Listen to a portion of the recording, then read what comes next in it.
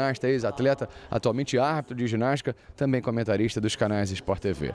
Purvis foi o segundo na ordem no solo, é o primeiro a se apresentar agora nessa segunda rotação no cavalo. O brasileiro que foi o último, Sazak, agora vai ser o penúltimo, o sexto a se apresentar. O Purvis, que vem de, um, de uma substituição também, ele está substituindo o Christian Thomas, outro atleta britânico, que realizou exercícios também de uma forma espetacular. Ele é um atleta excelente, tão bom quanto o Purvis. E vamos ver aí a série de cavalo dele agora.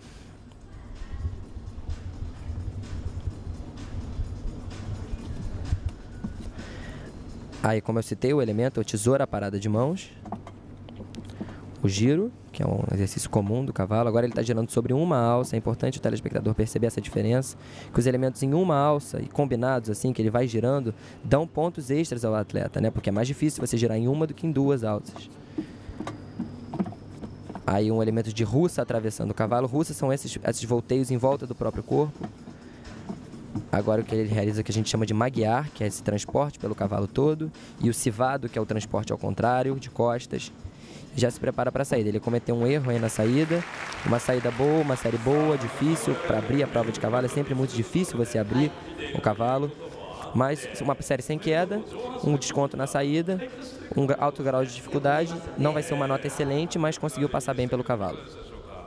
O britânico Daniel Purvis, 22 anos de idade, liderando até aqui essa prova de Copa do Mundo, a Copa do Mundo, a etapa japonesa depois da primeira rotação. Três no sábado, os outros três aparelhos sendo feitos no domingo.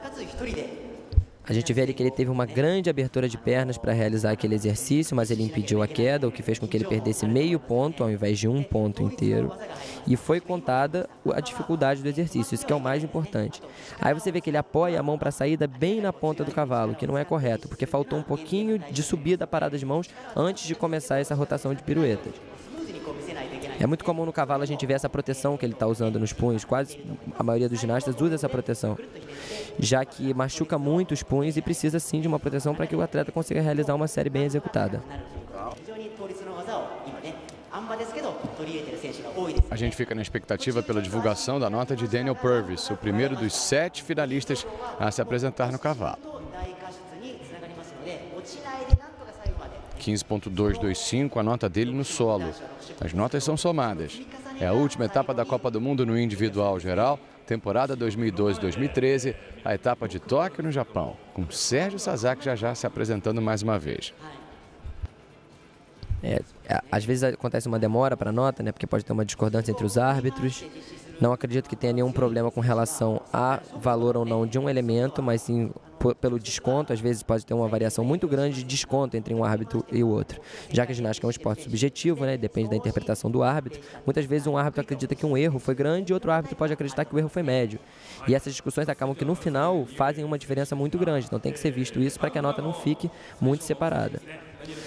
A gente vê ali o Renato atrás e o Sérgio esperando para serem chamados para competir. O e nada, que... e nada da divulgação da é. nota dele, Henrique. Essa, essa, esse momento é, é cruel para o ginasta, porque ele. Ah, agora sim, 14.125 a nota do britânico. Sport TV, o canal campeão.